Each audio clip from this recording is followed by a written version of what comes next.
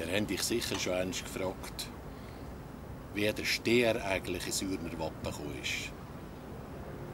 Das habe ich mich auch gefragt. Und plötzlich ist mir in Sinn dass ich in jungen Jahren in der Schule einmal das Gedicht gelernt habe. Das geht so. Fast jeder Stand hat in seinem Wappen einen Adler, Bär, sonst ein Tier. Wir Ürner aber haben seit altem auf gelbem Grund einen schwarzen Stier.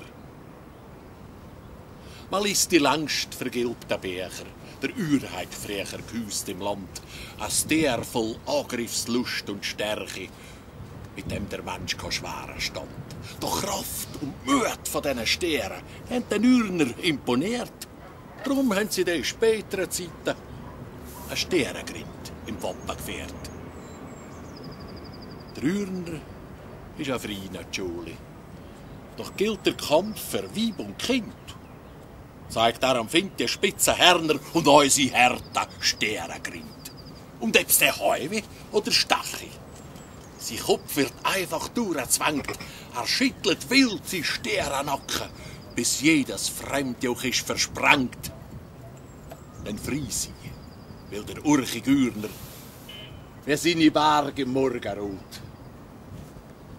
Lieber, als ich Nachtschaft lebe, im eigenen Land, wie der Tod.